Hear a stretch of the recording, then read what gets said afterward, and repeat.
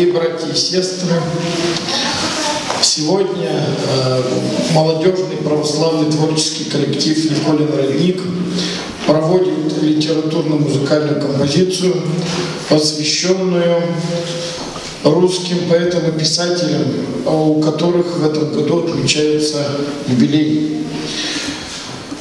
Они все творили очень много хорошего, доброго.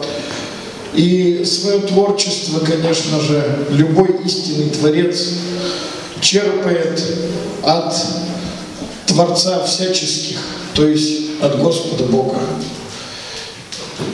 Господь вдохновляет на творчество любого истинного Творца. И в творчестве тех поэтов и писателей, о которых мы сегодня будем говорить, и произведения которых мы сегодня услышим, чувствуется, как через них творил Господь. Чувствуется, как их душа проникалась и идеей красоты Божьего мира, и идеями евангельскими, и многими другими христианскими идеями.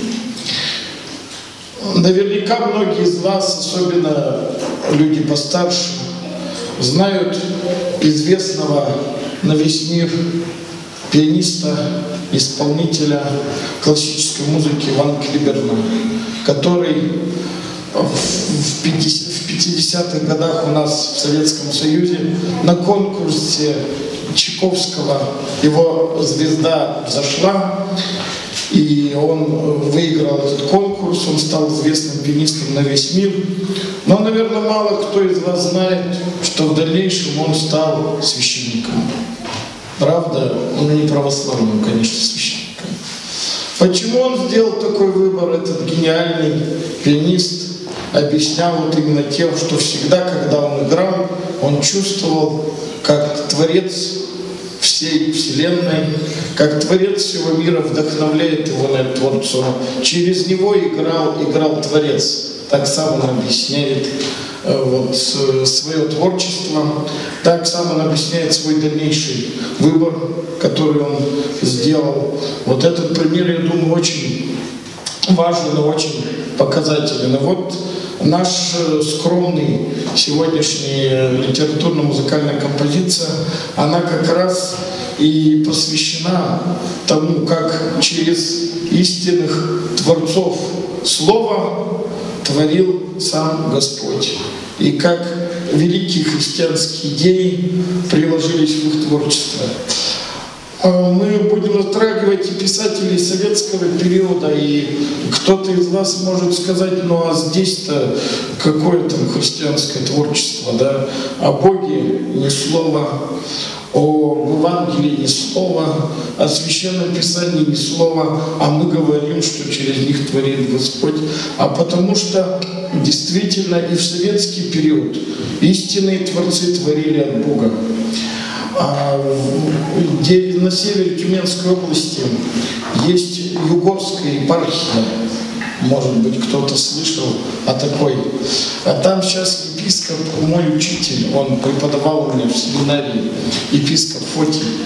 И вот этот епископ Фотий, уже будучи сложившимся священнослужителем, кандидатом богословия, окончил по собственному желанию Нижневартовский педагогический институт филфак.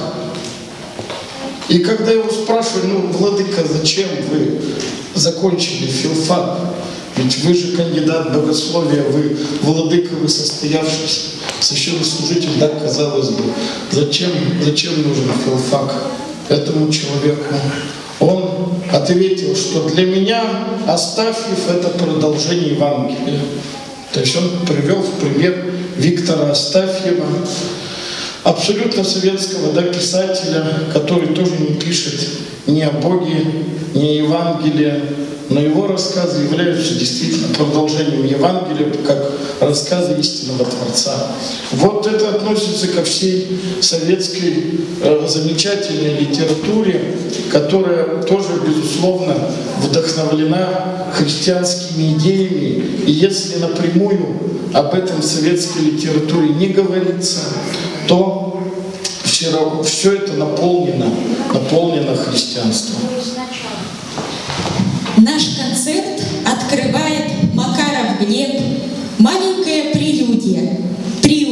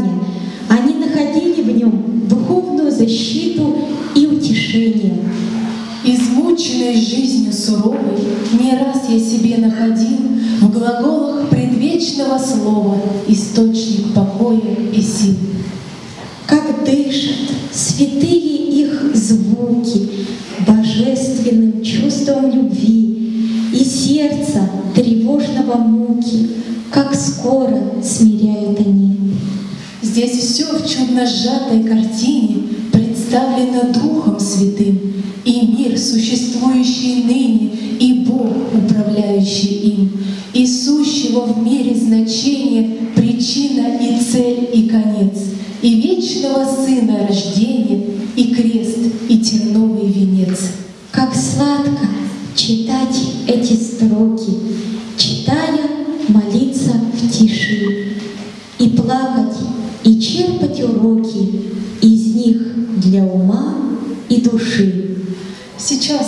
Анастасия Сафронова исполнит романс «Внутренняя музыка».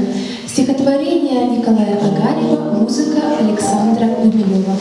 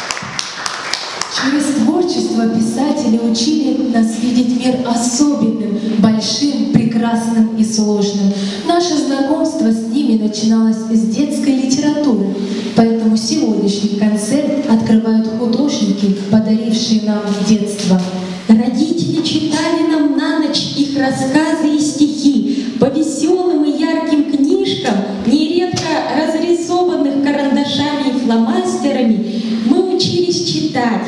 Мы рассказывали их стихи в детском саду и на всех праздниках.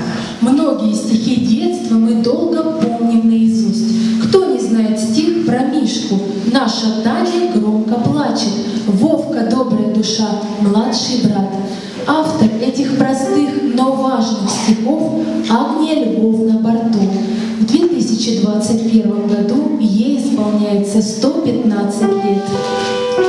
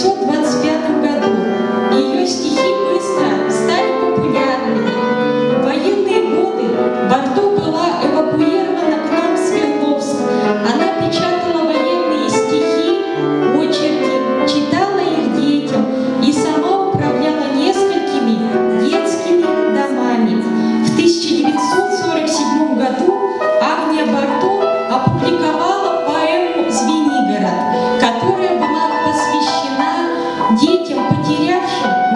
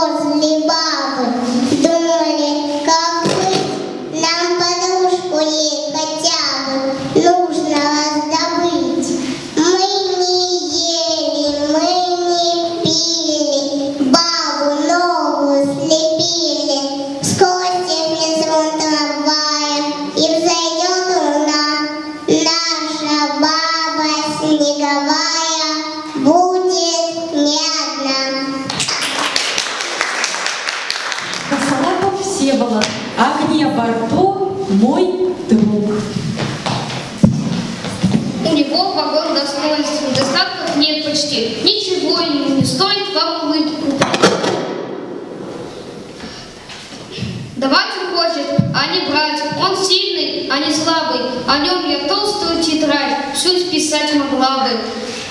Он, он выигрывать умеет, не боится проиграть. Очень быстро он умнеет, записал ее в тетрадь. Починил он птице клетку, дал котенку молоко. Из, извини.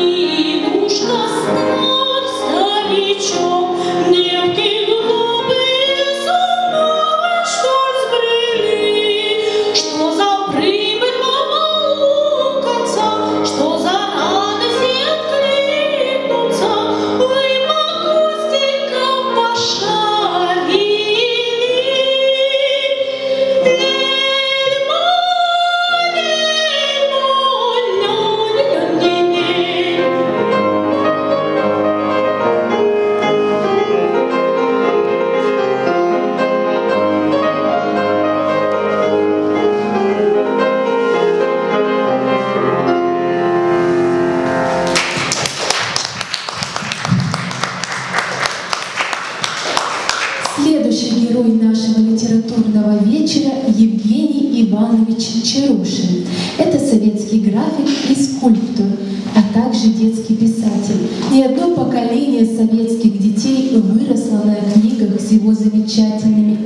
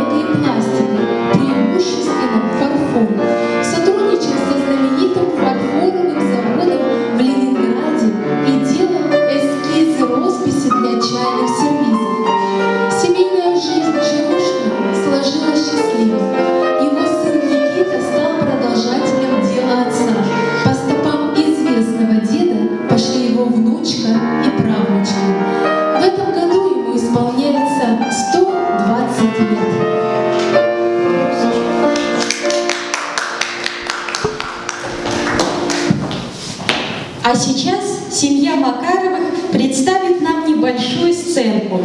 Это рассказ Чарушина «Перепелка». Прошу.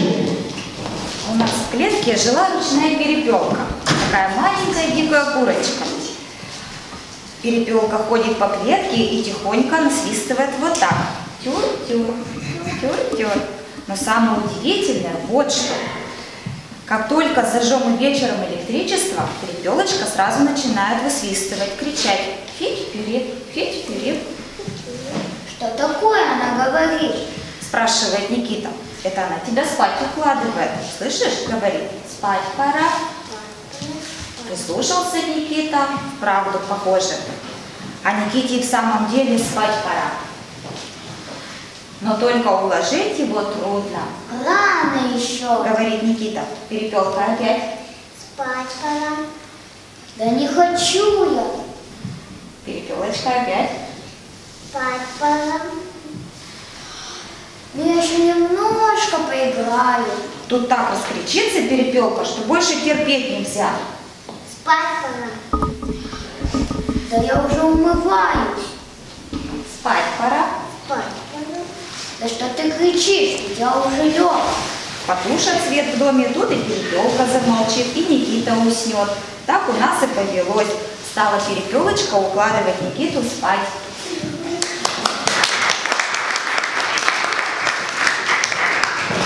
На сцене Варвара Демидова, песня «Жаворонок», музыка Глинки, слова «Кукольник».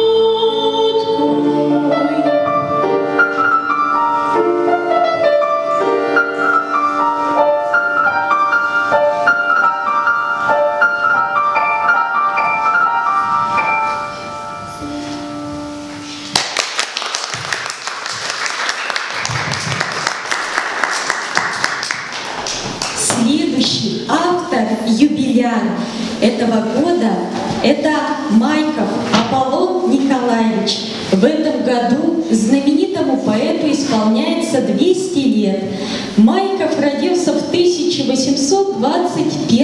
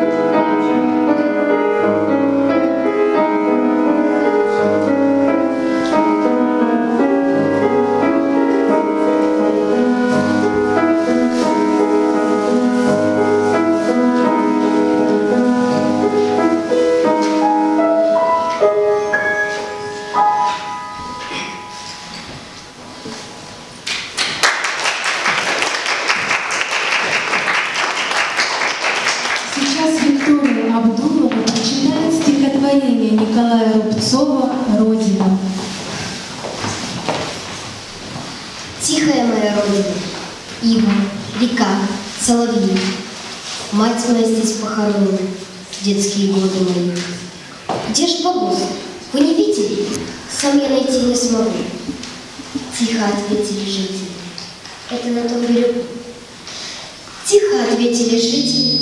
Тихо проехал обоз. Купол церковной обители яркой травой зарос. Там, где я плавал за рыбками, сено гребучий навал. Между речными изгибами вырыли люди канал. Тина теперь и болотина, там, где купаться любил. Тихая моя родина, я ничего не забыл. Новый забор перед школой, тот же зеленый простор. Словно ворона зеленая, сяду опять на забор. Школа моя деревенская, время придет уезжать. Речка за мной туманная будет бежать и бежать. С каждой избой и тучей, с громом готовым упасть. Чувствую самую жгучую, самую смертную связь.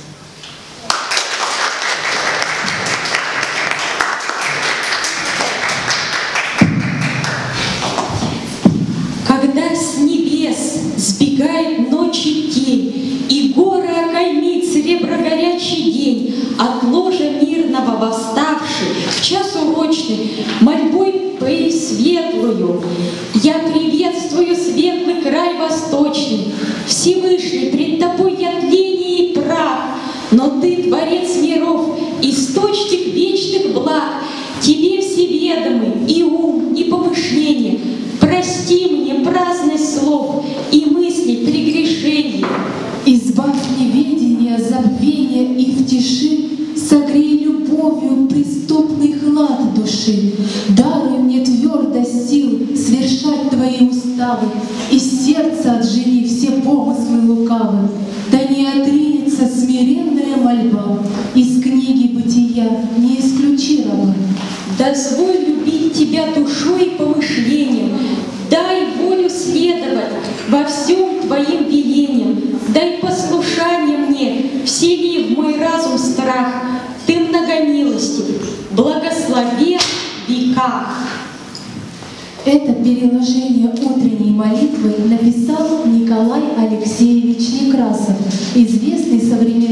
читателям как самый крестьянский поэт России. Писатель своим творчеством исследовал духовный мир русского крестьянства. Николай Некрасов тоже юбиляр этого года. Он родился в 1821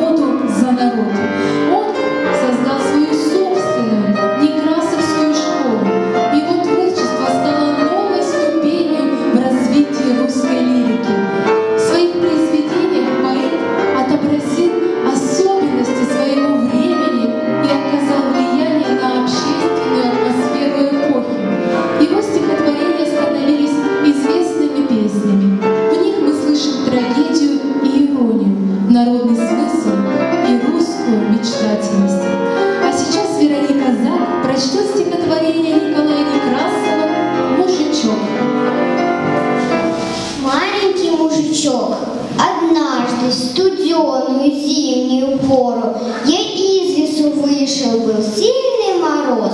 Гляжу, поднимается медленно гору лошадка, везущая хворосту воз. И шествую важно, в спокойствие чином, лошадку ведет под усы мужичок. В больших сапогах, в полушубке овчинном, в больших рукавицах, а сам с ноготок. Здорово, парнище, ступай себе мимо, Уж больно ты грозен, как я погляжу. Откуда дробишки? Из леса вестимо, Отец, слышишь, рубит, а я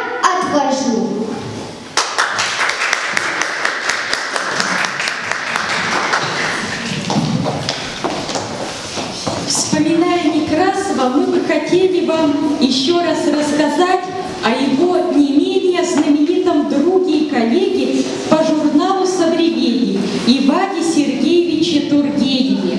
Егор Баканов. Стихотворение в прозе «Воробей».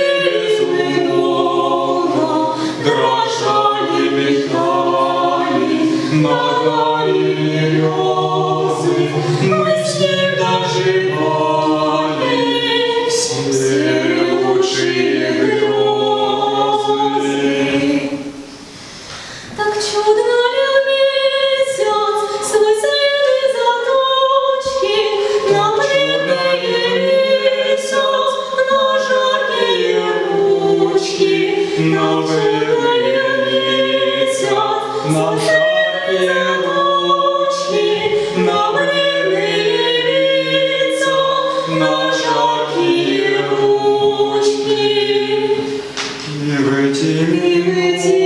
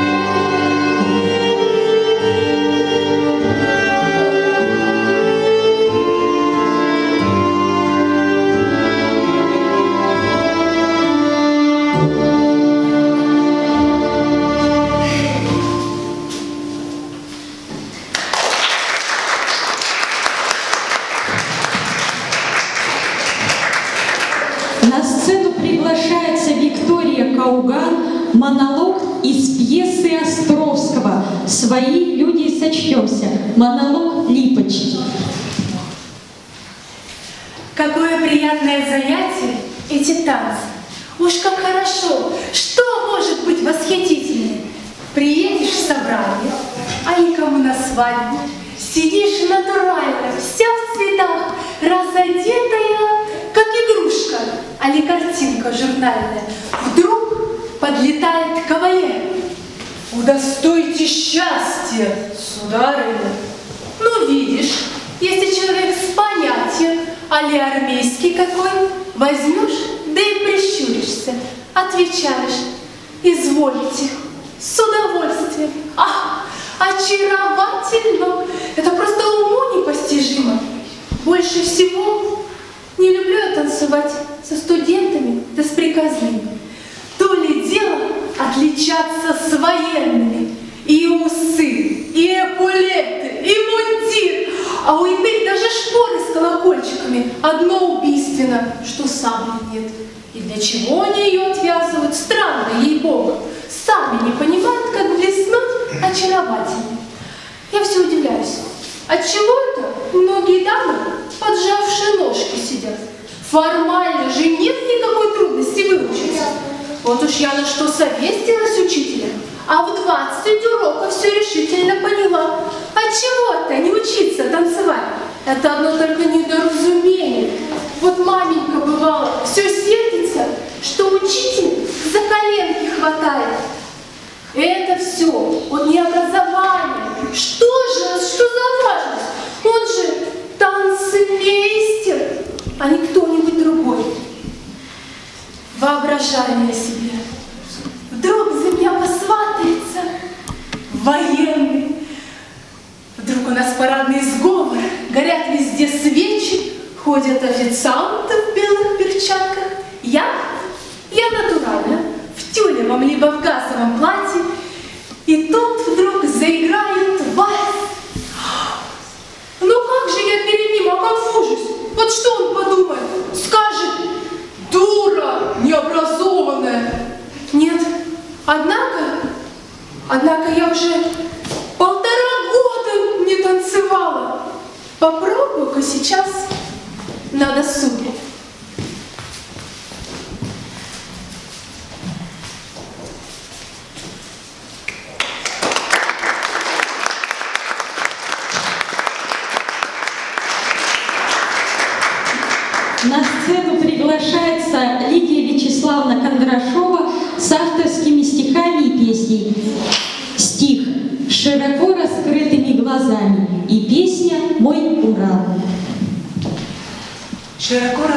Глазами я смотрю на этот мир большой.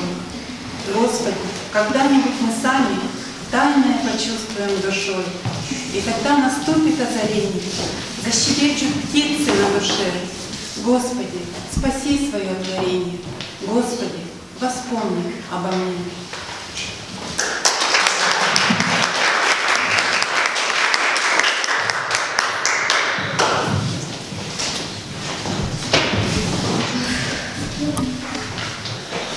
Hurra!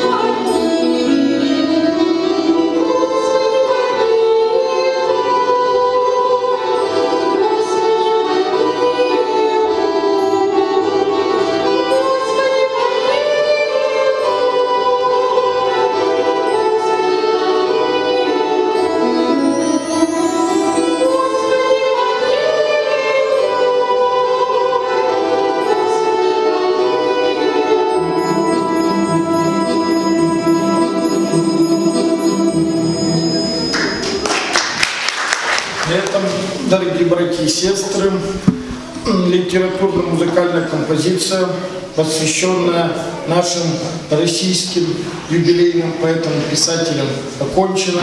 Всех участников благодарю за участие, всех гостей благодарю за внимание. Храни вас, Господь.